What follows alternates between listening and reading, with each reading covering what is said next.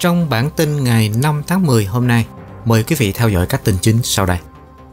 Canada viện dẫn hiệp ước lâu đời với Hoa Kỳ và yêu cầu đàm phán về số phận của đường ống dẫn dầu Line 5. Cầu Ambassador giữa Canada và Hoa Kỳ bị đóng vì tìm thấy chất nổ, một người bị tạm giữ. Bài phát biểu khai mạc Quốc hội Ontario đặt ưu tiên lên phục hồi kinh tế sau Covid-19. Đảng bảo thủ sẽ bỏ phiếu trong cuộc họp kín về việc có nên ban hành quyền lực để loại bỏ ông O'Toole một phụ nữ Saskatchewan mang thai đã chết vì Covid-19 ở Edmonton sau khi mổ để cấp cứu thai nhi. Sản phẩm thuốc Advil Cold and Sinus Date and Night bị thu hồi. Nhiều người Canada sống trong các khu vực rủi ro khí hậu mà không biết điều đó. Chiêu lừa đảo cho thuê nhà táo bạo mới ở Ottawa khiến cho người thuê mất 4.300 đô, còn chủ sở hữu nhà choáng váng hai miền Triều Tiên mở lại đường dây nóng khi miền Bắc thúc giục miền Nam hàn gắn quan hệ. Facebook, Instagram và WhatsApp hoạt động trở lại sau sự cố ngưng hoạt động toàn cầu. Do rỉ tài liệu Pandora Papers tiết lộ tài khoản bí mật ở nước ngoài của các chính trị gia, người nổi tiếng và tỷ phú. Hàng dặm bãi biển California có khả năng sẽ đóng cửa trong nhiều tuần sau vụ tràn dầu. Chúng tôi rất mệt mỏi, người lao động rời khỏi thành phố lớn nhất Việt Nam khi tình trạng phong tỏa kéo dài được nới lỏng. Tuấn Liêm và Hoàng Anh xin kính chào quý vị và các bạn. Cảm ơn quý vị đã đến đây để theo dõi bản tin Canada nổi bật hàng ngày trên kênh Culture Channel và một số tin tức thế giới đáng chú ý. Chương trình này được thực hiện bởi ban biên tập của Culture Magazine, tờ tạp chí văn hóa, đời sống song ngữ Anh Việt duy nhất, in ấn và phát hành tại Canada. Và sau đây, mời quý vị theo dõi bản tin chi tiết. Canada đã viện dẫn hiệp ước lâu đời với Hoa Kỳ, yêu cầu đàm phán về số phận của đường ống dẫn dầu Line 5, đường ống số 5. Chính phủ liên bang đã viện dẫn một quy trình để giải quyết tranh chấp trong một hiệp ước về đường ống năm 1977 với Hoa Kỳ nhằm duy trì hoạt động của đường ống dẫn dầu Line 5 quan trọng về mặt kinh tế. Đường ống Enbridge chạy qua Michigan từ thành phố Superior ở Wisconsin đến Sarnia của Ontario, băng qua hồ Great Lakes dưới eo biển Mackinac. Eo này có vị thế nhạy cảm với môi trường, nối hồ Michigan với hồ Huron. Tranh chấp bắt đầu vào năm ngoái khi thống đốc bang Michigan là bà Gretchen Whitmer đột ngột hủy bỏ thỏa thuận đã cho phép đường ống này hoạt động từ năm 1953. Thống đốc lấy lý do là có nguy cơ xảy ra thảm họa ở eo biển Mackinac. Enbridge và chính quyền Michigan đã tham gia vào một cuộc hòa giải theo lệnh của tòa án để giải quyết tranh chấp. Ông Gordon Giffin là cựu đại sứ Hoa Kỳ tại Canada, hiện đang làm cố vấn pháp lý cho chính phủ Canada, đã thông báo với tòa án Hoa Kỳ rằng Canada chính thức yêu cầu đàm phán với Washington theo Hiệp ước Canada-Hoa Kỳ vào năm 1977 về đường ống. Bộ trưởng Ngoại giao là ông Mark Gurnall cho biết Chính phủ đã thực hiện động thái này để bảo đảm đường ống số 5 vẫn hoạt động. Line số 5 vận chuyển tới 540.000 thùng dầu thô và các sản phẩm dầu mỏ khác mỗi ngày từ phía Tây Canada và cung cấp khoảng một nửa nhiên liệu cho tỉnh bang Ontario và Quebec, từ nhiên liệu máy bay cho sân bay Toronto Pearson đến khí đốt sưởi ấm trong nhà.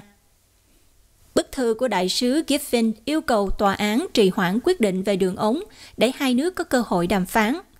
Tổng trưởng lý Michigan là bà Dana Nassau cho biết, lá thư do Canada đệ trình không cung cấp cơ sở pháp lý nào cho việc trì hoãn. Michigan vẫn khẳng định rằng Tòa án Liên bang Hoa Kỳ không có thẩm quyền đối với vấn đề này và cho rằng vụ việc nên được chuyển đến Tòa án tiểu bang. Chính phủ Canada đã đệ trình một bản tóm tắt tình hình lên Tòa án Hoa Kỳ vào tháng 5 với Enbridge có trụ sở tại Calgary. Theo đó thì họ muốn bảo đảm dòng chảy liên tục của dầu và khí đốt qua biên giới. Vào thời điểm đó thì Thủ tướng Justin Trudeau cho biết chính phủ muốn thấy quá trình hòa giải giữa Michigan và Enbridge tiếp tục. Michigan rút khỏi hòa giải với Enbridge vào tháng 9. Hiệp ước này quy định rằng bất kỳ tranh chấp nào giữa hai nước có thể được giải quyết bằng các cuộc đàm phán song phương, nhưng có thể được đưa lên trọng tài nếu các cuộc đàm phán đó thất bại. Cầu Ambassador giữa Canada và Hoa Kỳ bị đóng cửa vì tìm thấy chất nổ, một người bị tạm giữ. Cảnh sát Windsor cho biết cầu Ambassador Bridge đi qua biên giới quốc tế giữa Canada và Hoa Kỳ đã bị đóng cửa gần như cả ngày do có thể có chất nổ trong khu vực. Cảnh sát đã được gọi đến hiện trường ở phía Canada của giao lộ giữa Windsor, tỉnh Ontario và Detroit, Michigan vào sáng thứ Hai. Cảnh sát cho biết họ đã được cơ quan dịch vụ biên giới Canada là CBSA cảnh báo sau khi chất nổ có thể nằm bên trong một chiếc xe ở khu vực kiểm tra thứ cấp. Không có mối đe dọa nào liên quan đến điều này và đây được cho là một sự việc cá biệt. Một bài đăng trên Twitter từ cảnh sát cho biết sự an toàn và an ninh của nhân viên và công chúng là điều tối quan trọng. Vì vậy, giao thông đã được định tuyến lại. Cảnh sát cho biết người lái xe liên quan đang bị tạm giữ để chờ điều tra thêm và hiện đang bị CBSC tạm giữ. Không có người nào khác được cho là có liên quan đến vụ việc này. Các sĩ quan cho biết khu vực này đã được di tản và cây cầu đã bị đóng cửa, ngăn giao thông đến từ phía bên Hoa Kỳ. Đơn vị xử lý chất nổ của dịch vụ cảnh sát Windsor đang điều tra. Một cảnh báo từ cơ quan CBSA khuyến khích du khách đến hãy sử dụng các cổng nhập cảnh thay thế để qua biên giới. Cả khách du lịch thông thường và giao thông thương mại đều có thể sử dụng đường hầm Windsor-Detroit Tunnel, nhưng CBSA lưu ý rằng có thể có một số phương tiện giao thông thương mại nhất định không thể được đáp ứng. Vào khoảng trước 5 giờ chiều thứ hai, cơ quan CBSA đã thông báo cây cầu đã hoạt động bình thường trở lại. Đến khoảng 7 giờ tối vào thứ hai thì cảnh sát Windsor đã thu dọn hiện trường. Cảnh sát cho biết sẽ có thêm thông tin cập nhật vào thứ ba.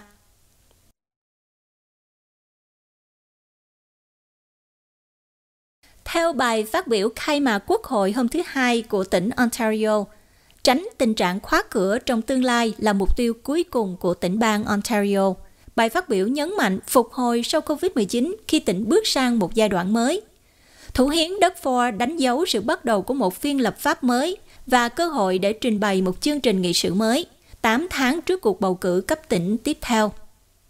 Bài phát biểu tập trung chủ yếu vào những gì chính phủ đã làm để hỗ trợ các hệ thống chăm sóc sức khỏe và chăm sóc dài hạn trong đại dịch, nhấn mạnh sự cần thiết phải hành động nhiều hơn nhưng với ít chi tiết cụ thể, mặc dù bài phát biểu có đề cập đến luật đã hứa để thiết lập các tiêu chuẩn trong lĩnh vực chăm sóc dài hạn. Hơn 86% cư dân đủ điều kiện ở tỉnh Ontario đã được tiêm ít nhất một liều vaccine. Tỉnh đang bước vào giai đoạn mới của đại dịch trong khi các ca bệnh có thể tăng lên khi mọi người ở khu vực trong nhà nhiều hơn, điều đó không có gì là quá lo ngại. Mức chi tiêu mới khổng lồ cho các khoản hỗ trợ trong đại dịch đã khiến tỉnh Ontario rơi vào một lỗ hổng tài chính. Dự báo thâm hụt mới nhất cho giai đoạn 2021 đến 2022 là 32,4 tỷ đô la.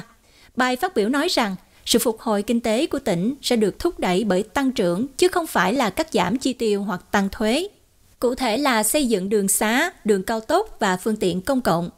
Trong bài phát biểu, những người trẻ tuổi, sinh viên và những người làm trong lĩnh vực dịch vụ khách sạn đã được đề cập đến như những người đã phải gánh vác những gánh nặng kinh tế lớn trong thời kỳ đại dịch.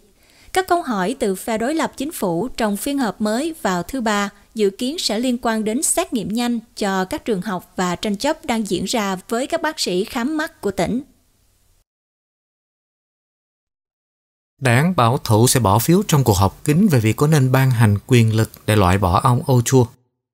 Đảng bảo thủ liên bang sẽ tổ chức một cuộc họp kín trực tiếp đầu tiên vào ngày thứ ba sau cuộc bầu cử liên bang ngày 20 tháng 9. Cuộc họp kín toàn quốc dự kiến sẽ bỏ phiếu về việc có nên hay không tự cho mình quyền lực để lật đổ ông Erin O'Toole. Đó là một trong bốn cuộc bỏ phiếu quan trọng mà cuộc họp kín dự kiến sẽ thực hiện, phù hợp với đạo luật cải cách mà đảng tuân thủ. Nếu trong thứ ba, các nghị sĩ và thượng nghị sĩ của đảng bảo thủ quyết định ban hành quyền thúc đẩy xem xét lại lãnh đạo, 20% số người họp kín sẽ cần phải ký một thỏa thuận chính thức để kích hoạt quá trình và sau đó sẽ yêu cầu đa số trong cuộc họp kín bỏ phiếu để loại bỏ nhà lãnh đạo thông qua một quy trình bỏ phiếu kín. Cuộc họp hôm thứ Ba diễn ra trong bối cảnh nội bộ đảng bảo thủ có bất đồng ý kiến về việc liệu ông Ochu có nên tiếp tục lãnh đạo đảng sau sự thất bại trong cuộc bầu cử liên bang vào ngày 20 tháng 9 vừa qua hay không. Sau khi hứa sẽ giành được ghế trên toàn quốc, đảng này trở lại với số lượng nghị sĩ giống y như trước khi bỏ phiếu. Khi cuộc họp kín diễn ra lần đầu tiên sau thất bại trong cuộc bầu cử của năm 2019 của ông Andrew Scheer nhóm học kính đã quyết định phản đối việc bỏ phiếu ban hành quyền lực phế truất ông Scheer làm lãnh đạo đảng, mặc dù vài tháng sau ông đã từ chức.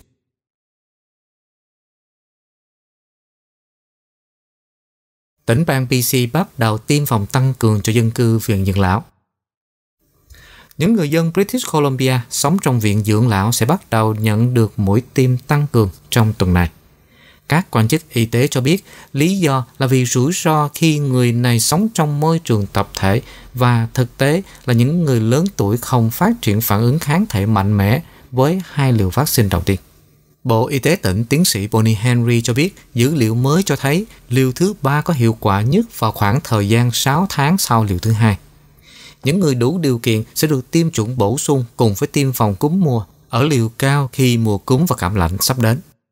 Tiến sĩ Henry đã công bố tiêm liều vaccine thứ ba cho những người bị suy giảm miễn dịch nhiều nhất và cho biết sẽ có thêm thông tin về liều thứ ba cho những người có tình trạng sức khỏe khác.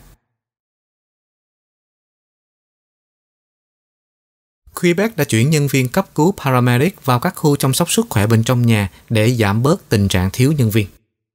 Các nhân viên y tế ở Quebec sẽ được yêu cầu giúp đỡ các môi trường bên trong nhà, chẳng hạn như là viện dưỡng lão và bệnh viện để cải thiện tình trạng thiếu nhân viên nghiêm trọng trong hệ thống chăm sóc sức khỏe. Bộ trưởng Y tế Quebec Christine Dubé cho biết dự án đang bắt đầu với quy mô nhỏ, chỉ với 20 nhân viên ở vùng Montérégie trên bờ nam của Montreal. Quyết định này hoạt động trên cơ sở tự nguyện. Các nhân viên y tế cấp cứu được thay đổi lịch trình thường xuyên của họ, đặc biệt là trong chăm sóc khẩn cấp tại bệnh viện. Tuy nhiên, chính phủ đã thông qua một xác lệnh vào ngày thứ hai để bắt đầu quy mô này. Những nhân viên y tế cấp cứu đầu tiên sẽ chuyển sang làm việc trong bệnh viện vào ngày Chủ nhật tới.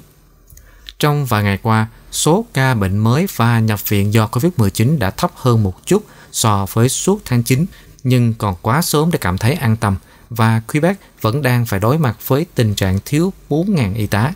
Trong khi đó, có khoảng 6.000 nhân viên y tế cấp cứu trên khắp Quebec.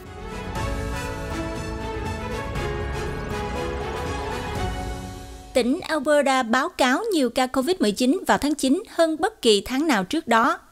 Dữ liệu của tỉnh cho thấy tháng 9 được cho là tháng tồi tệ nhất trong đại dịch COVID-19 ở tỉnh Alberta nhiều người dân Alberta có kết quả xét nghiệm dương tính với COVID-19 hơn bất kỳ tháng nào trước đó và số ca nhập viện và ICU đã bị phá kỷ lục. Số người chết trong tháng 9 cũng tăng đột biến, trở thành tháng chết chóc nhất kể từ tháng 1 năm 2021. Ông Craig Jane là phó giáo sư về vi sinh, miễn dịch học và các bệnh truyền nhiễm tại Đại học Calgary cho biết, nguyên nhân dẫn đến tình trạng này là do biến thể Delta không đủ các biện pháp y tế công cộng hành động chậm của chính phủ và tỷ lệ tiêm chủng thấp. Tỉnh Alberta đã báo cáo 45.665 ca COVID-19 vào tháng trước, chiếm hơn 15% tổng số ca trong tỉnh kể từ khi đại dịch bắt đầu.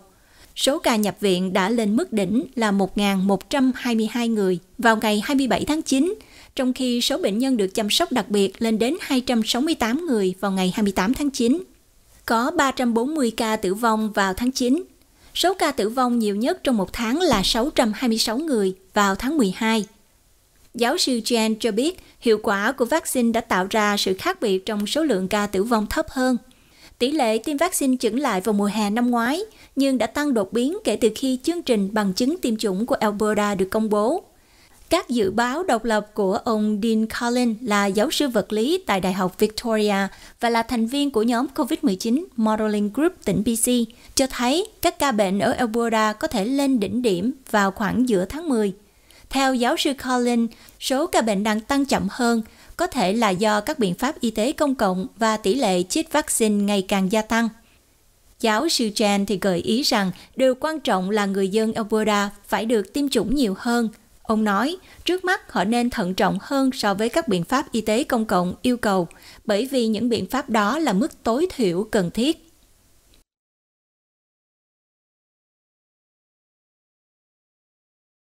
Một phụ nữ Saskatchewan mang thai chết vì COVID-19 ở Edmonton sau khi mổ cấp cứu lấy thai.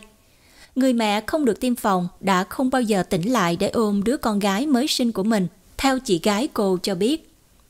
Jennifer Rusbluff Thomas đang được chị gái nhớ đến như một người phụ nữ xinh đẹp, tràn đầy sức sống, sống vì con cái cho đến khi cô qua đời vì COVID-19 tại phòng ICU Edmonton vào đầu tháng 9. Jennifer Rosebluff Thomas, 35 tuổi, đến từ Muscaubeton, South Two Nation, ngay phía đông bắc Regina và đã sống ở Edmonton với 8 đứa con của mình ở độ tuổi 1, 5, 8, 12, 16, 17 và 19. Cô đang mang thai đứa con thứ 9 được 29 tuần. Khi cô ấy mắc phải biến thể Delta vào cuối tháng 8, cô ấy đã không được tiêm phòng. Theo các chuyên gia về sức khỏe thai nhi, phụ nữ mang thai nhiễm COVID-19 có nguy cơ phải nhập viện cao gấp 5 lần người bình thường và có nguy cơ nhập viện phòng chăm sóc đặc biệt cao hơn gấp 10 lần, theo dữ liệu tổng hợp từ cơ quan giám sát COVID-19 của Canada trong nhóm về mang thai. Các cơ quan y tế công cộng trên toàn thế giới cho biết vaccine COVID-19 làm giảm những rủi ro đó. Cô Charles sống ở Regina đã chia sẻ cuộc trò chuyện video cuối cùng với em gái trước khi cô được hỗ trợ sự sống bên trong bệnh viện Royal Alexandra. Cô Charles kể lại, em gái nói với tôi, chị ơi, em sắp chết, họ đang đưa em đến ICU. Trong cuộc trò chuyện video cuối cùng tôi có với em gái, tôi chỉ nói với em, đừng lo lắng, chị sẽ đi gặp bọn trẻ, chị sẽ ở đó, đừng lo lắng. Và em gái đã khóc tôi có thể nói rằng em gái đang sợ hãi. Sau đó, Charles cho biết một y tá đã gọi cho cô ấy để nói rằng đội y tế sẽ cần tiến hành một ca mổ lấy thai khẩn cấp. Khi họ đang làm phẫu thuật lấy thai C-section khẩn cấp, y tá gọi cho tôi và nói với tôi rằng họ đang thực hiện phẫu thuật này để cứu em gái để có thể đưa oxy vào phổi. Cô Charles kể lại nhưng Jennifer không bao giờ tỉnh lại và không bao giờ có cơ hội ôm đứa con gái mới sinh của mình. Cô qua đời 4 ngày sau đó vào ngày 3 tháng 9. Tiến sĩ Stephanie Cooper, một bác sĩ sản khoa cho các trường hợp có nguy cơ cao tại trung tâm y tế Foothills ở Calgary, cho biết hơn 20 phụ nữ mang thai nhiễm COVID-19 nghiêm trọng và nguy kịch đã được đưa vào bệnh viện ở Alberta trong tháng 8 và tháng 9. Tất cả họ đều chưa được tiêm chủng Tiến sĩ Cooper cho biết các đội y tế thường cố gắng giữ bào thai trong tử cung càng lâu càng tốt để có thêm thời gian trưởng thành, nhưng việc sinh non khẩn cấp là cần thiết để cứu sống em bé hoặc mẹ hoặc cả hai. Một tình huống là khi một phụ nữ mang thai bị bệnh nặng do COVID-19, đến mức máu của cô ấy phải được cung cấp oxy bên ngoài cơ thể, cho phép tim và phổi được nghỉ ngơi. Một trang GoFundMe đã được thành lập để hỗ trợ các con của Jennifer Cô Charles cho biết đã thúc giục em gái mình tiêm vaccine COVID-19. Giờ đây cô ấy vừa đau buồn trước cái chết của em gái mình, vừa đau lòng khi biết rằng cái chết của em gái là có thể ngăn ngừa được. Giờ đây Charles đang chia sẻ câu chuyện của em gái mình để khuyến khích những phụ nữ mang thai khác mà có thể do dự trong việc tiêm vaccine, hãy liên hệ với các chuyên gia y tế. Covid là có thật, em gái tôi là một người mẹ tuyệt vời và bây giờ các con của em ấy sẽ lớn lên mà không có mẹ, cô Charles nói. Charles đang chăm sóc năm đứa con của Jennifer ở tỉnh Saskatchewan.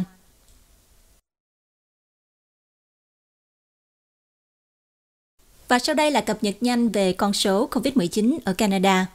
Tính đến tối ngày 4 tháng 10, Canada báo cáo thêm có 3.405 ca COVID-19 mới, nâng số ca COVID-19 của Canada lên mức 3.405 1.640.606.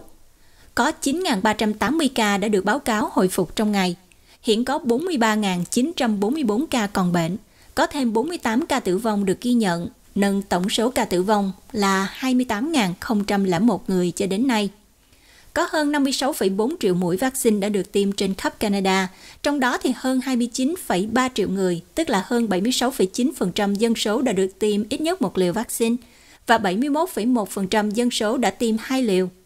88,3% số người từ 12 tuổi trở lên đã tiêm một liều vaccine và 82% đã tiêm đầy đủ hai liều. Tỉnh BC đã báo cáo 1.986 ca bệnh trong 3 ngày qua, bao gồm 662 ca vào thứ hai. Ngoài ra thì còn có 10 ca tử vong mới. Tỉnh Alberta báo cáo có 1.126 ca bệnh mới và 21 ca tử vong – trong 3 ngày cuối tuần thì tỉnh ghi nhận có 4.037 ca bệnh mới. Tỉnh Saskatchewan có 445 ca bệnh mới và 5 ca tử vong. Manitoba thì có 324 ca bệnh mới trong cuối tuần qua. Trong đó thì có 83 ca vào thứ hai và 2 ca tử vong. Tỉnh Ontario thì báo cáo 511 ca bệnh mới và 2 ca tử vong trong ngày thứ hai. Tỉnh Quebec thì có 402 ca bệnh mới và 6 ca tử vong. Tại khu vực Đại Tây Dương, Nova Scotia có 86 ca bệnh mới, Newfoundland có 15 ca bệnh mới, New Brunswick thì có 75 ca và 2 ca tử vong.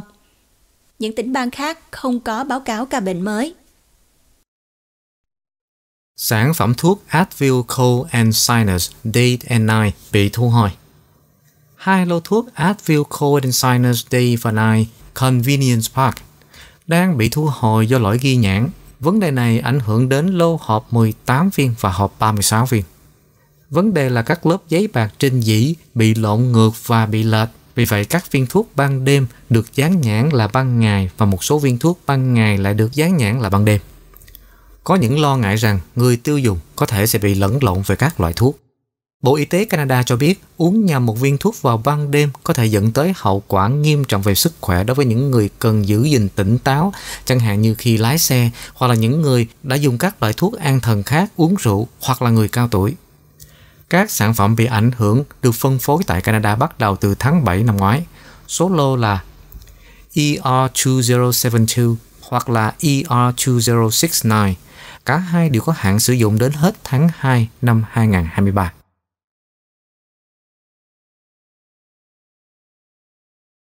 Nhiều người Canada sống trong các khu vực rủi ro về khí hậu mà không biết điều đó. Một báo cáo mới của Viện Lựa chọn Khí hậu Canada, Canadian Institute for Climate Choices, cho biết cách tiếp cận lỗi thời của Canada trong việc đánh giá rủi ro của biến đổi khí hậu có thể dẫn tới nhiều người Canada hiện đang sống trong các khu vực được coi là có nguy cơ xảy ra lũ lụt và cháy rừng mà không hề hay biết. Nghiên cứu được công bố vào tuần trước và nhóm nghiên cứu do chính phủ tài trợ. Nhóm có nhiệm vụ dự đoán rủi ro và chi phí đối với cơ sở hạ tầng của Canada, nhà cửa, đường xá, đường sắt và hệ thống điện trong vài thập kỷ tới dựa trên các kịch bản biến đổi khí hậu khác nhau. Báo cáo xác định lũ lụt là nguy cơ lớn nhất đối với các tòa nhà và kết luận rằng nhiều người Canada không nhận thức được nguy cơ lũ lụt đối với nhà của họ. Nghiên cứu ước tính có khoảng 650.000 ngôi nhà hiện đang gặp rủi ro lũ lụt trên sông và 325.000 ngôi nhà khác có nguy cơ bị lũ lụt quét mà bản đồ lũ lụt của chính phủ hiếm khi tính đến. Tuy nhiên, những người mua bất động sản cũng không biết tới những rủi ro liên quan tới khí hậu do thiếu các quy định buộc phải tiết lộ. Chỉ 6% người dân Canada sống trong các khu vực có nguy cơ lũ lụt nhận thức được điều đó. Trong số các phát hiện khác là chi phí cho cơ sở hạ tầng của Canada liên quan tới biến đổi khí hậu đang trên đà tăng hàng chục tỷ đô la mỗi năm. Các quyết định về cơ sở hạ tầng mới hiện chưa tính đến rủi ro của việc biến đổi khí hậu. Báo cáo cũng cho thấy rằng Canada đã thực hiện kém việc cung cấp thông tin về việc rủi ro khí hậu đối với cơ sở hạ tầng. Thông tin tồn tại cũng không được tiết lộ cho người tiêu dùng và nhà đầu tư. Thật vậy, vì Canada không cung cấp bản đồ nguy cơ lũ lụt cho phần lớn đất nước, các tác giả của báo cáo đã sử dụng dữ liệu công khai từ công ty tư nhân JBA Risk Management cho phần lớn phân tích của mình. Ngoài ra, do thiếu thông tin về rủi ro cơ sở hạ tầng liên quan đến khí hậu, các tòa nhà tiếp tục được xây dựng ở những khu vực có nguy cơ cao. Trong số các khuyến nghị của mình, các tác giả cho rằng chính phủ cần phát triển và công bố thông tin chính xác và thực tế về rủi ro cơ sở hạ tầng liên quan đến khí hậu, trong khi các cơ quan quản lý nên yêu cầu chủ sở hữu của cơ sở hạ tầng nên tiết lộ rủi ro do biến đổi khí hậu. Báo cáo cũng khuyến nghị rằng các chính phủ tạo ra mạng lưới an toàn cho những người dễ bị tổn thương nhất để cho việc định giá rủi ro khí hậu trở nên công bằng.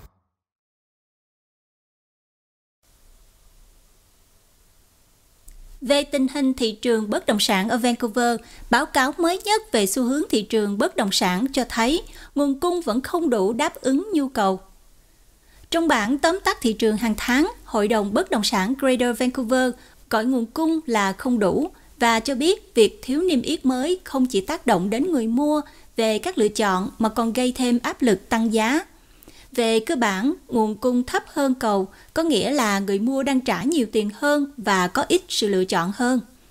Báo cáo xem xét dữ liệu tháng 9 Theo đó, niêm yết mới thấp hơn 1,2% so với mức trung bình 10 năm.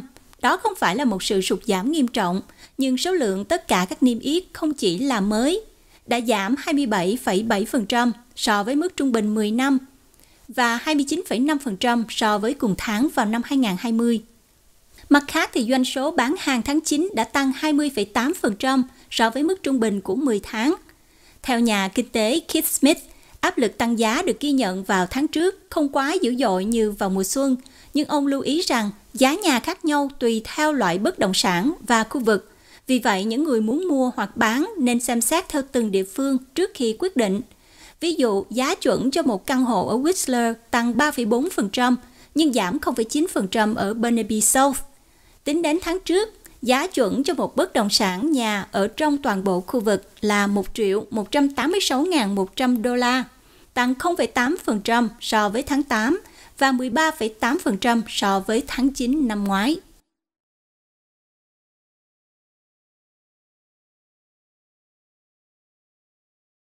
Thưa quý vị, một chiêu lừa đảo cho thuê nhà táo bạo mới ở Ottawa khiến người thuê mất 4.300 đô la, còn chủ sở hữu nhà choáng váng. Một cặp vợ chồng ở Ottawa gần đây đã đăng tải ngôi nhà mới toanh của họ lên cho thuê. Nhưng trước khi họ có thể cho thuê, họ phát hiện một gia đình đang sống ở đó mà họ không hề hay biết do một vụ lừa đảo táo bạo và phức tạp. Người thuê nhà dựa trên một niêm yết cho thuê giả mạo trên Kijiji không chỉ bị lừa hàng ngàn đô la mà còn khiến chủ nhà cảm thấy choáng váng và bị xâm phạm. Sự việc bắt đầu vào tháng 8 sau khi cặp vợ chồng Enu và Saloni Mittal mua một căn nhà townhouse 2 tầng trên đường Pastel ở khu phố Barrenhaven của Ottawa và niêm yết cho thuê. Vài tuần sau, vào ngày 13 tháng 9, người đại diện Real Estate Agent trên MLS listing của cặp đôi là Dinesh Sharma đã gọi cho họ vào sáng sớm với một tin tức gây sốc. Anh ta cho biết một người đàn ông tự xưng đang sống trong căn nhà townhouse của hai vợ chồng, đang phàn nàn rằng chủ nhà của anh ta đang cố gắng thay đổi các điều khoản của hợp đồng thuê nhà và yêu cầu thêm tiền thuê. Nhưng cặp vợ chồng Midtown thậm chí còn chưa ký hợp đồng thuê nhà vào thời điểm đó. Theo những gì họ biết thì chưa có ai từng sống trong ngôi nhà mới xây này. Trên thực tế thì tấm biển cho thuê vẫn còn được cấm trên bãi cỏ bên ngoài khu nhà cho thuê. Đó là tại sao người đàn ông thuê nhà nhìn thấy tên và số của người đại diện agent là Sharma. Cặp vợ chồng Mittal và người đại diện của họ nhanh chóng lái xe đến Pastaway để điều tra. Ở đó thì họ gặp ông David Polk, người đang sống trong ngôi nhà mà anh và gia đình đã chuyển đến chỉ hai ngày trước đó. Anh Polk đã giải thích rằng anh ta đã phát hiện ra niêm yết cho thuê trên Kijiji và đã đồng ý kiểm tra tài sản, ký hợp đồng thuê và thanh toán tiền thuê tháng đầu tiên và tháng cuối qua một loạt tin nhắn với người được cho là chủ nhà mà đã không từng gặp mặt trực tiếp. Nhưng cả cặp vợ chồng Midtown và người đại diện MLS của họ đều chưa từng tạo quảng cáo Kijiji cho ngôi nhà này. Polk cho biết anh đã chuyển khoản tiền thuê nhà là 4.300 đô la cho một người đàn ông tự xưng là Michael Glenn. Người này đã cung cấp mật mã cho hộp khóa để anh Polk có quyền truy cập vào chìa khóa. Câu hỏi là làm thế nào mà kẻ lừa đảo biết được mật mã?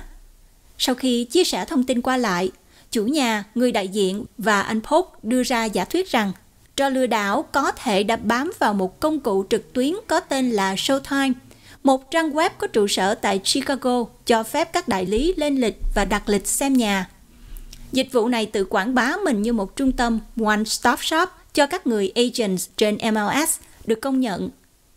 Chỉ với một vài cú nhấp chuột, chủ tài khoản có thể tìm thấy thông tin chi tiết về bất động sản được liệt kê, các ưu đãi nổi bật, lịch trình xem nhà cũng như mật mã khóa cửa.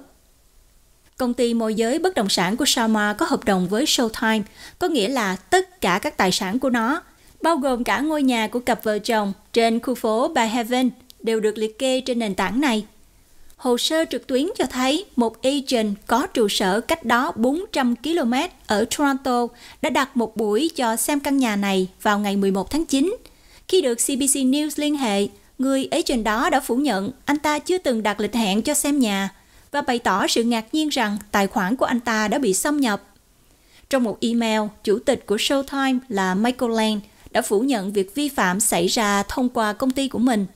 Thay vào đó, ông đổ lỗi cho một công ty môi giới bất động sản giấu tên đã mắc sai lầm. Mặc dù công ty của ông không chịu trách nhiệm, ông Land cho biết trường hợp này đã thúc đẩy họ cập nhật phần mềm của mình để ngăn chặn các lỗi liên quan đến con người như lỗi này. Các sĩ quan thuộc đơn vị lừa đảo của cảnh sát Ottawa hiện đang điều tra, cho biết họ chưa từng thấy một vụ lừa đảo cho thuê nhà nào đi đến bước này vì thủ phạm thường biến mất rất lâu trước ngày chuyển đến đã hứa. Cảnh sát tỉnh Ontario thuộc Trung tâm chống gian lận Canada cho biết, những người thuê nhà nên luôn tìm kiếm các niêm yết trùng lập và không bao giờ gửi tiền trước khi gặp mặt trực tiếp. Chủ nhà đã cho phép gia đình anh Polk ở trong ngôi nhà của họ trong một tuần. Gia đình từ đó đã chuyển đến sống trong một tầng hầm của người họ hàng. Tôi cảm thấy tồi tệ cho anh ta. Anh ta chắc chắn là nạn nhân. Chủ nhà Midtown nói về anh Polk. Thật là sốc và bất ngờ cho gia đình chúng tôi niêm yết Kijiji giả vẫn còn trên mạng web trong tuần này. CBC đã liên hệ với người tạo niêm yết, người có tên là Ashley, nhưng trao đổi đã kết thúc sau khi phóng viên xác định danh tính của mình. Các tin nhắn của CBC được gửi đến điện thoại của Michael Glenn là chủ nhà giả, không nhận được phản hồi. Anh Polk cho biết anh ấy đã gắn cờ đỏ cho quảng cáo gửi đến Kijiji và sẽ không bao giờ nhìn đến Kijiji nữa. Trong khi anh ấy cũng đã kháng nghị ngân hàng của mình là ngân hàng RBC để đảo ngược chuyển khoản điện tử 4.300 đô la. Người phát ngôn của RBC cho biết, ngân hàng nhắc nhở khách hàng rằng họ phải thực hiện thêm các bước để bảo đảm họ đang giao dịch với một nguồn đáng tin cậy khi chuyển hoặc nhận tiền.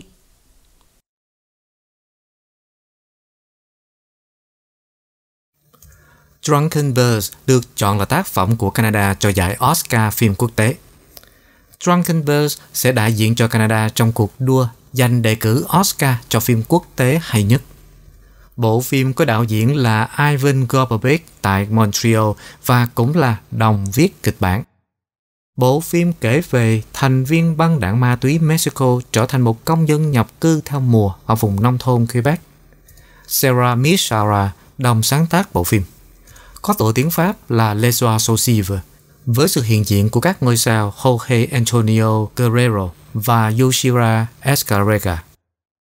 Telefilm Canada cho biết một ủy ban khắp Canada gồm khoảng 20 đại diện bỏ phiếu đã chọn phim này trong tổng số 10 phim được gửi đến xem xét. Phim có lời thoại bằng tiếng Pháp, tiếng Tây Ban Nha, tiếng Anh và tiếng quan thoại. Viện Hàn lâm Khoa học và Nghệ thuật Điện ảnh hiện phải quyết định bộ phim nào sẽ đi tiếp vào vòng bỏ phiếu tiếp theo ở hạng mục này với danh sách shortlist gồm 10 bộ phim đã được tiết lộ vào ngày 21 tháng 12. Drunken Birds đã được công chiếu lần đầu tại Liên hoan phim quốc tế Toronto vào tháng trước và sẽ được phát hành vào ngày 15 tháng 10. Phim quốc tế hay nhất được trao cho phim sản xuất bên ngoài Hoa Kỳ với lời thoại chủ yếu không phải bằng tiếng Anh. Lễ trao giải Oscar 2022 dự kiến sẽ được phát sóng trực tiếp từ nhà hát Dolby ở Hollywood vào ngày 27 tháng 3 năm 2022.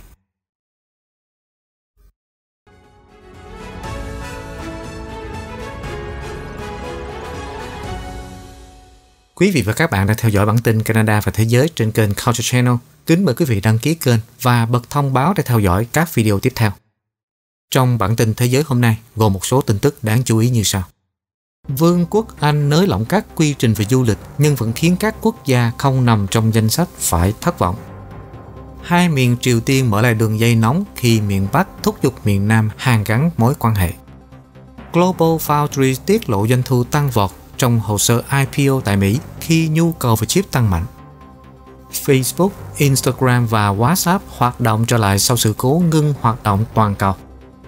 Chứng khoán giảm do lạm phát và nỗi lo về hàng mức nợ hàng dặm bãi biển California có khả năng sẽ phải đóng cửa trong nhiều tuần sau sự cố dầu tràn. Rò rỉ tài liệu Pandora Papers tiết lộ tài khoản bí mật ở nước ngoài của các chính trị gia, người nổi tiếng và tỷ phú. Chúng tôi rất mệt mỏi, người lao động rời khỏi thành phố lớn nhất Việt Nam khi tình trạng phong tỏa kéo dài được nới lỏng. Và một số cập nhật tình hình COVID-19 trên thế giới. Sau đây là cập nhật tình hình và những tin tức liên quan đến dịch COVID-19 trên thế giới. Tính đến thứ hai, hơn 234,9 triệu trường hợp nhiễm COVID-19 đã được báo cáo trên toàn thế giới. Theo công cụ theo dõi của Đại học Johns Hopkins, số người tử vong trên toàn cầu được báo cáo là hơn 4,8 triệu người.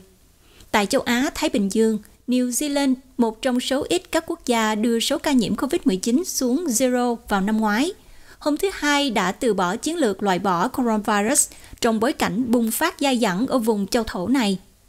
Thủ tướng New Zealand là bà Jacinda Ardern cho biết quốc gia này sẽ tìm cách chung sống với virus và kiểm soát sự lây lan của nó khi tỷ lệ tiêm chủng nhiều hơn.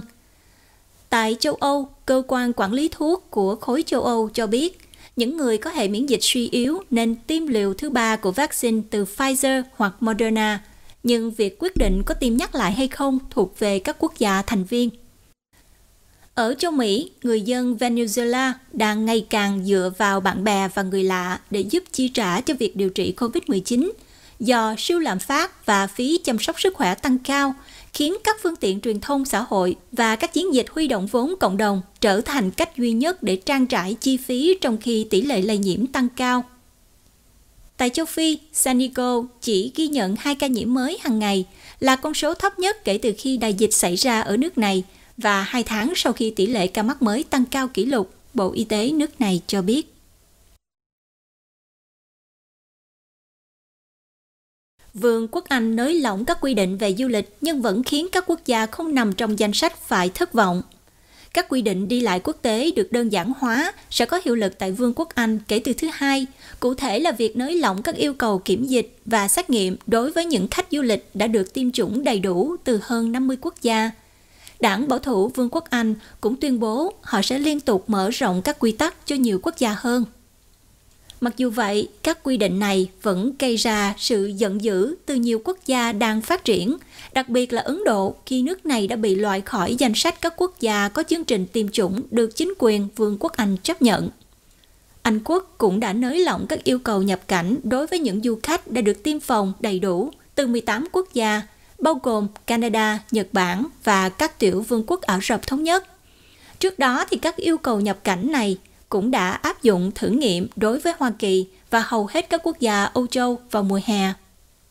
Theo các quy định mới, Anh Quốc đã loại bớt các quy định được phân bổ thành ba loại rủi ro COVID-19 khác nhau dựa trên hệ thống đèn giao thông, xuống còn hai loại là danh sách đỏ, sẽ nghiêm cấm hầu hết các chuyến du lịch không thiết yếu và những quốc gia không nằm trong danh sách đó. Tuy nhiên, không phải tất cả các du khách đến từ các quốc gia này đều được áp dụng các quy định giống nhau. Cụ thể là đối với những người đã được tiêm chủng đầy đủ, một trong bốn loại vaccine được phê duyệt và có giấy chứng nhận của cơ quan y tế công cộng sẽ được phép nhập cảnh vào Vương quốc Anh mà không cần phải xét nghiệm âm tính với COVID-19 trước khi khởi hành cũng như không cần phải cách ly khi nhập cảnh. Ngược lại thì đối với những du khách đến từ các quốc gia có chương trình tiêm chủng không được phê duyệt bởi các nhà chức trách Vương quốc Anh thì sẽ phải xuất trình giấy xét nghiệm âm tính trước khi khởi hành và tiến hành cách ly trong 10 ngày. Hầu hết các quốc gia ở châu Phi và Nam Mỹ cũng như các quốc gia châu Á lớn như Trung Quốc, Ấn Độ và Việt Nam hiện không có chương trình tiêm chủng được Vương quốc Anh chấp thuận. Hai miền Triều Tiên mở lại đường dây nóng khi miền Bắc thúc giục miền Nam hàn gắn lại mối quan hệ. Hai miền Triều Tiên hôm thứ Hai đã khôi phục lại đường dây nóng mà Triều Tiên đã cắt đứt nhiều tháng trước, trong đó Bình Nhưỡng thúc giục Seoul hãy đẩy mạnh nỗ lực cải thiện quan hệ sau khi chỉ trích điều mà nước này gọi là tiêu chuẩn kép về phát triển vũ khí. Nhà lãnh đạo Triều Tiên Kim Jong-un tuần trước bày tỏ sẵn sàng kích hoạt các đường dây nóng mà Triều Tiên đã cắt vào đầu tháng 8 để phản đối mối quan hệ giữa Hàn Quốc và Mỹ với các cuộc tập trận quân sự chỉ vài ngày sau khi mở lại đường dây lần đầu tiên trong năm. Các đường dây nóng là công cụ để làm cầu nối, nhưng không rõ việc kết nối này có tạo điều kiện thuận lợi cho việc quay trở lại các cuộc đàm phán có ý nghĩa nhằm vào mục đích loại bỏ các chương trình hạt nhân và tên lửa của Triều Tiên để đổi lại các lệnh trừng phạt của Mỹ được dỡ bỏ hay không. KCNA kêu gọi Seoul hoàn thành nhiệm vụ hàn gắn các mối quan hệ căng thẳng xuyên biên giới, nhắc lại bài phát biểu của ông Kim vào tuần trước rằng ông đã quyết định khôi phục các đường dây để giúp thực hiện hy vọng của người dân về một sự tan băng và hòa bình. Bộ Quốc phòng của Nam Hàn cho biết các đường dây nóng đã góp phần ngăn chặn các cuộc đụng độ bất ngờ. và việc mở lại đường dây này sẽ đem đến hy vọng và dẫn đến việc xoa dịu đáng kể căng thẳng quân sự. Tại Washington, người phát ngôn ngoại giao của Mỹ cho biết Mỹ ủng hộ mạnh mẽ hợp tác liên triều. Nhận định việc đường dây nóng được nói lại là một thành phần quan trọng trong việc tạo ra một môi trường ổn định hơn trên bán đảo Triều Tiên. Sự căng thẳng đã bùng lên kể từ khi các đường dây nóng bị cắt đứt, với việc Triều Tiên cảnh báo về một cuộc khủng hoảng an ninh và phóng một loạt tên lửa mới, bao gồm cả tên lửa siêu thanh, tên lửa phòng không và tên lửa hành trình chiến lược. Trong khi cáo buộc Washington có chính sách thù địch, Bình Nhưỡng cho biết họ sẵn sàng hàn gắn quan hệ liên triều và xem xét tổ chức một hội nghị thượng đỉnh khác với Seoul. Global Foundries tiết lộ doanh thu tăng vọt khi nộp đơn đăng ký mua cổ phiếu trên thị trường chứng khoán. Global Foundry thuộc sở hữu của quỹ tài sản có chủ quyền Mubadala Investment Co. của Abu Dhabi, chưa đưa ra điều khoản cho việc niêm yết của mình, nhưng công ty này có thể có mức định giá khoảng 25 tỷ Mỹ Kim, Reuters đưa tin lần đầu tiên vào tháng 8. IPO, một trong những thương vụ được mong đợi nhất trong năm, dự kiến sẽ kết thúc một năm kỷ lục từ đợt phát hành chứng khoán trên thị trường sau khi một số tên tuổi khác như là Robinhood Market Inc. Coinbase Global Inc. và Roblox Corp đã tận dụng sự bùng nổ thị trường vốn đầu năm 2021. Cùng với việc ra mắt thị trường chứng khoán của nhà sản xuất xe điện Rivian, Global Foundry dự kiến sẽ đưa ra một lịch trình IPO vào cuối năm khi các công ty tìm cách tận dụng tối đa sự thèm muốn của nhà đầu tư đối với danh sách các công ty công nghệ tăng trưởng cao. Global Foundries đã đệ trình một đợt chào bán cổ phiếu lần đầu ra công chúng vào ngày thứ hai lên tới 1 tỷ đô la Mỹ. Doanh thu của Global Foundries đã giảm kể từ năm 2018, nhưng trong 12 tháng qua, tăng trưởng của nó đã phục hồi do nhu cầu về chip trên toàn thế giới tăng vọt. Nhà sản xuất chip này đã củng cố các dòng sản phẩm của mình và công bố kế hoạch mở rộng sang các nhà máy mới ở Mỹ và Singapore. Global Foundries có kế hoạch xây dựng nhà máy thứ hai gần trụ sở chính Motor ở New York và chi 1 tỷ Mỹ Kim để tăng sản lượng. Doanh thu ròng của công ty trong 6 tháng kết thúc vào ngày 30 tháng 6 là 3,04 tỷ đô la, tăng gần 13% so với một năm trước đó. Khoản lỗ ròng trong cùng kỳ thu hẹp xuống còn 301 triệu đô la, từ mức 534 triệu đô la một năm trước đó.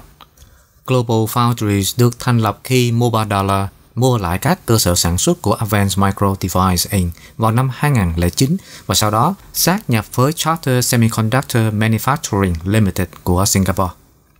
Công ty sản xuất chip truyền thông tần số vô tuyến cho 5G, xe hơi và các chất bán dẫn chuyên dụng khác. Global Foundry ban đầu nhắm mục tiêu niêm yết vào cuối năm 2022 hoặc là đầu năm 2023 nhưng đã chuyển lịch trình để tận dụng sự bùng nổ IPO hiện tại.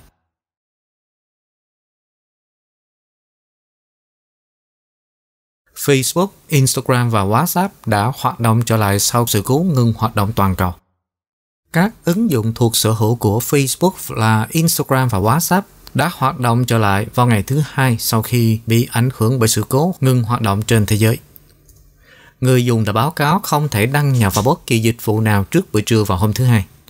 Facebook đã đăng một thông báo trên Twitter vào khoảng 6 giờ 30 chiều cho biết họ đã thành công trong việc phục hồi lại quyền truy cập.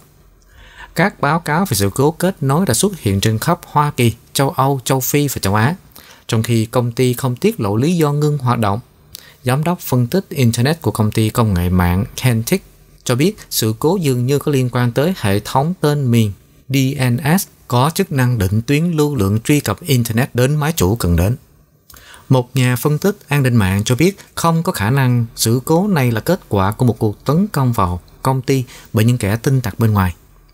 Sự cố này diễn ra vào lúc một cụ quản lý đã đưa ra ánh sáng về sự tham gia của Facebook trong việc hỗ trợ cuộc bạo động vào ngày 6 tháng Giêng tại Điện Capitol, Hoa Kỳ.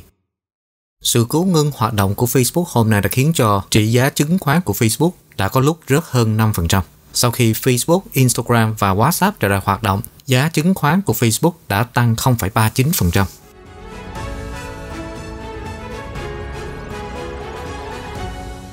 Trong bản tin kinh tế, chứng khoán giảm mạnh do lạm phát và nỗi lo về hạn mức nợ. Phố Wall Street bắt đầu tuần mới với tình trạng bán tháo khi các nhà đầu tư phải vật lộn với hàng loạt mối lo ngại. Cổ phiếu mở cửa thấp hơn và bắt đầu giảm mạnh vào giữa buổi sáng, giữ mức thua lỗ trong phần còn lại của phiên giao dịch. chỉ số Dow đóng cửa ở mức 320 điểm, tương đương 0,9% thấp hơn. Vào thời điểm thấp nhất trong ngày thì chỉ số này đã giảm hơn 500 điểm. Chỉ số S&P 500 là một thước đo rộng hơn của thị trường chứng khoán Mỹ, đã giảm 1,3%, trong khi Nasdaq Composite đã giảm mạnh nhất với mức giảm là 2,1%.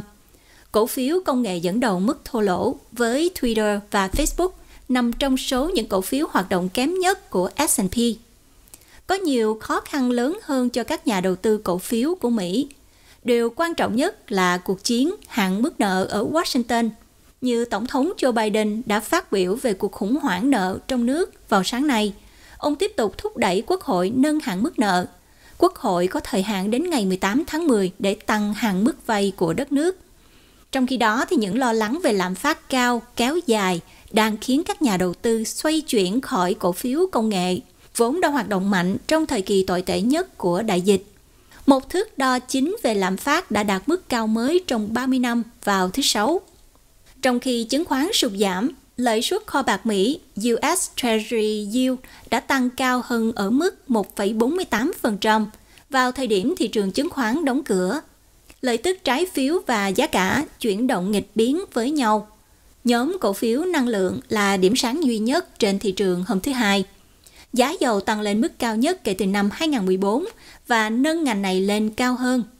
Giá dầu của Mỹ đã cao hơn 2% ở mức 77,62 đô la Mỹ một thùng sau khi tổ chức các nước xuất khẩu dầu mỏ và các đồng minh tái xác nhận kế hoạch sản xuất hiện tại của họ là nâng sản lượng hàng tháng thêm 400.000 thùng mỗi một ngày vào tháng 11.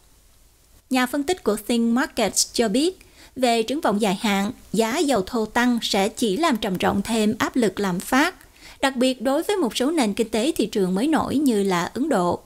Còn nhà kinh tế hàng hóa của Capital Economics cho biết, việc OPEC từ chối OPEC cung cấp trở lại cho thị trường nhanh hơn, có nghĩa là thị trường sẽ tiếp tục thâm hụt trong quý tư. Điều này cho thấy giá dầu sẽ tiếp tục tăng trong ít nhất là phần còn lại của năm nay.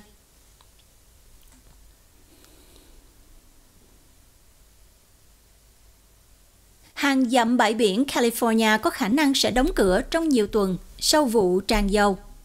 Một trong những vụ tràn dầu lớn nhất trong lịch sử miền Nam California vừa qua đã khiến hàng dặm bãi biển ở quận Cam phải đóng cửa. Nguyên nhân sự việc được cho là do rò rỉ từ đường ống dẫn dầu dưới nước. Theo thị trưởng Huntington Beach là ông Kim Carr cho biết, việc đóng cửa bãi biển có thể kéo dài trong vài tuần hoặc vài tháng. Thành phố lân cận của Huntington Beach là Newport Beach cũng đã khuyến cáo người dân tránh các bãi biển và khu vực bị ảnh hưởng bởi sự cố tràn dầu này, theo một thông báo được công bố hôm Chủ nhật. Trên trang Twitter của mình, giám sát viên quận Cam là bà Katrina Foley cho biết, vụ tràn dầu đã làm rò rỉ ít nhất là 126.000 gallon dầu thô và dẫn đến tác động sinh thái đáng kể như khiến nhiều động vật hoang dã chết và các bãi biển ngâm dầu Bà Foley cũng nói thêm rằng các bãi biển hiện không an toàn cho hoạt động bơi lội hoặc lướt sóng.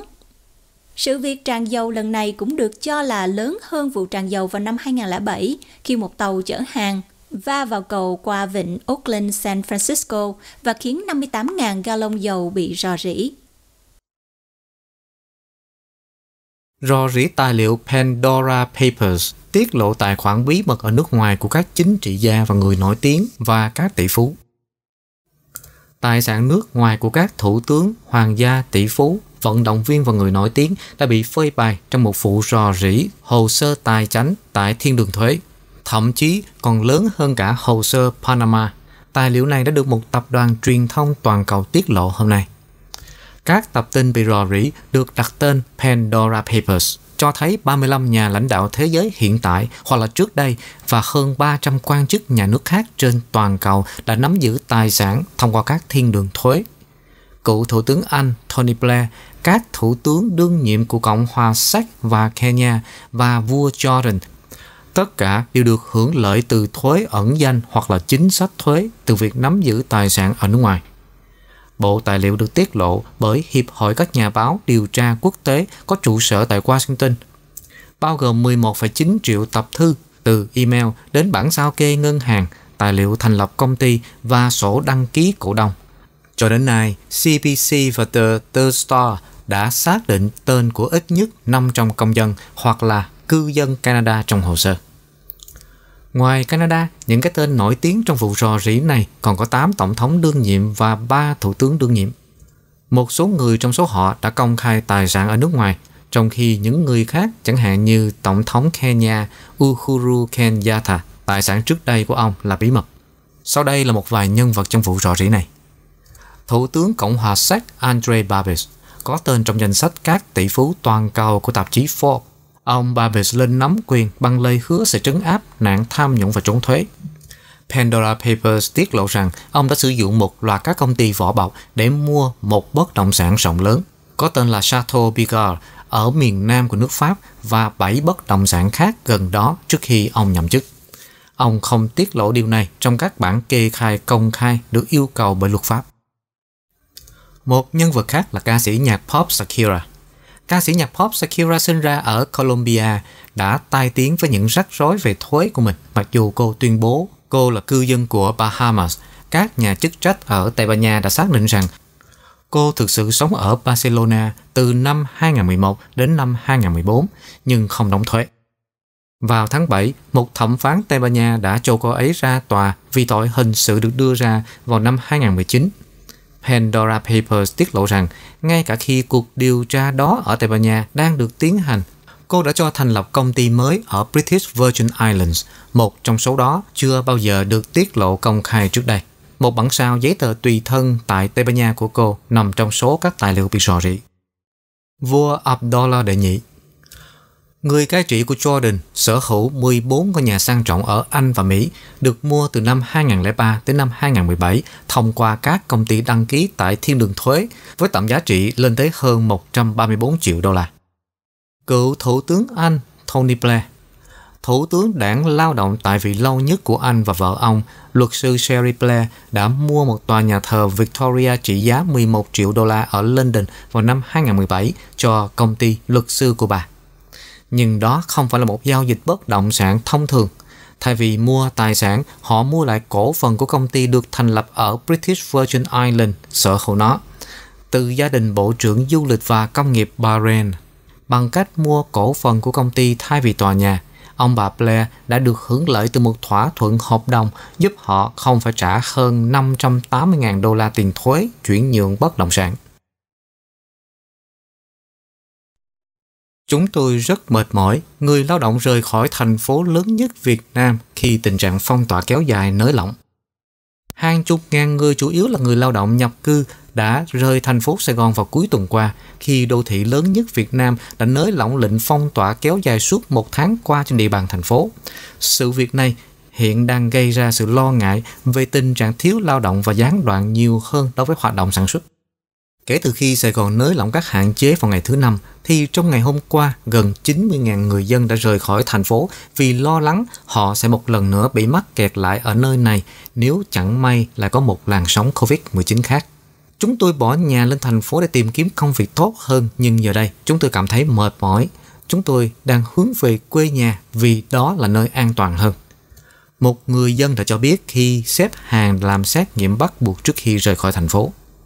Người này cũng cho biết gia đình của cô đã bị mất việc tại một nhà máy may mặc vào tháng 7 và chỉ quanh quẩn trong căn phòng thuê rộng 10 mét vuông của mình trong bối cảnh hạn chế ra khỏi nhà.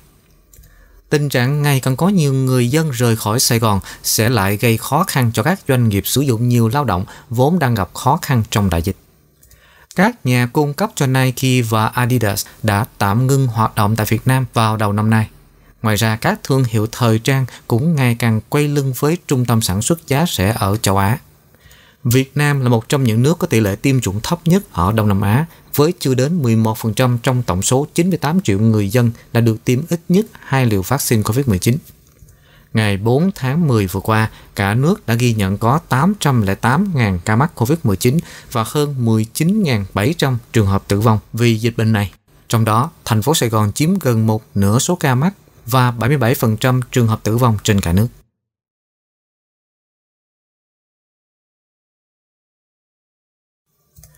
Cập nhật tình hình COVID-19 tại Việt Nam Tính từ 17 giờ ngày 3 tháng 10 tới 17 giờ ngày 4 tháng 10, cả nước đã ghi nhận có 5.383 ca nhiễm mới, trong đó có 1 ca nhập cảnh và 5.382 ca ghi nhận trong nước, trong đó là có 2.690 ca trong cộng đồng.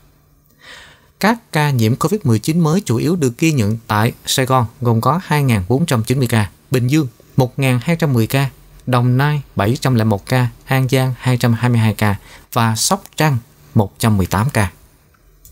Kể từ đầu dịch tới nay thì Việt Nam đã có 813.961 ca nhiễm. Về tình hình điều trị, số bệnh nhân được công bố khỏi bệnh trong ngày là 27.683 ca, nâng tổng số ca được điều trị khỏi lên 721.480 ca. Số bệnh nhân nặng đang được điều trị là 6.144 ca. Trong ngày hôm nay cũng ghi nhận có 130 ca tử vong, nâng tổng số ca tử vong do COVID-19 tại Việt Nam tính tới hết ngày 4 tháng 10 là 19.845 ca. Về tình hình tiêm chủng, trong ngày 3 tháng 10 có 859.182 liều vaccine COVID-19 được tiêm. Như vậy thì tổng số liều vaccine đã được tiêm là 45 triệu 496.123 liều. Và trong đó, tiêm một mũi là 34 triệu 622.194 liều và tiêm mũi 2 là 10 triệu 873.929 liều.